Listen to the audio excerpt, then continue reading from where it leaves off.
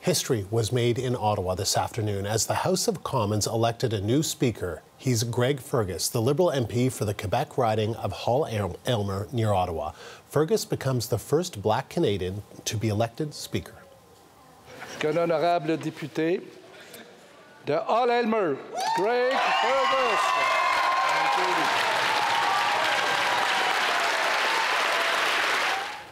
And that was the moment Fergus's win was announced. As is tradition, he feigned that he was being dragged to the Speaker's chair by the Prime Minister and leader of the official opposition. Fergus's election was prompted by the resignation of the previous Speaker, Anthony Rota, after he honored a Ukrainian veteran who had served with the Nazis. That happened the day Ukraine's President Vladimir Zelensky visited the House. The CBC's Olivia Stefanovich is in Ottawa and she joins me now live. So, Olivia, tell us more about the new speaker. Well, Andrew, not only is Greg Fer Fergus the first member of Parliament of color to be elected as Speaker of the House of Commons, making history today, he's also the first Speaker from Quebec to, to sit in this chair, the first MP from Quebec in more than 40 years. It's, you know, the last uh, MP from Quebec to sit in the chair was in the 1980s, so it's been a while.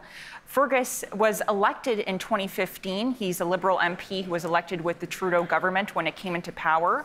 He represents the riding of Hull Aylmer, so just across the river from from Ottawa here in the Gatineau region. So not a stranger to this area. And in fact, uh, Andrew, he actually was a parliamentary page in 1988 and actually served the longest serving member in the House of Commons, Louis Plamondon, who is a bloc member who actually presided over the speaker election today. And Fergus, when he took the chair as speaker, he actually uh, pointed out that he used to give this MP, this bloc MP, uh, notes and water as page. So he recalled that experience.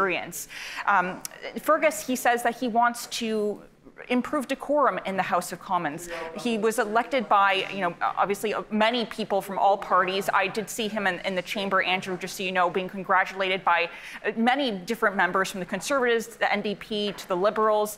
And he says he wants to take this job seriously and improve confidence in the House of Commons. Let's take a listen to what he had to say when he was elected. Respect is a fundamental part of what we do here we need to make sure that we treat each other with respect, that we show Canadians the example. Because there can be no dialogue unless there's a mutual understanding of respect. That there can be no ability to pursue the arguments, to make your points be heard, unless we all agree to extend to each other that sense of respect and decorum. Prime Minister Justin Trudeau released a statement after Fergus was elected as Speaker. Trudeau calls this a historic day, as Fergus being the first Black mm-hmm. Canadian to become Speaker of the House of Commons. And Trudeau went on to call Fergus a source of inspiration for all Canadians, especially younger generations who want to get into politics, Andrew. And so, Olivia, is this kind of done and dusted, or what happens next? Is he now officially the, the Speaker? Well, Fergus, before he presided over question period, he actually went all the way to the Senate, which is in another building now that center block is under renovation, and he was acknowledged by the Governor General. Then, just a short time ago, he came back to the House of Commons chamber and presided over his first question period. And Andrew, the first thing he said before he acknowledged the leader of the official opposition, Pierre Poilievre, he asked MPs to treat him like a new car and not to give him a dent on his first day.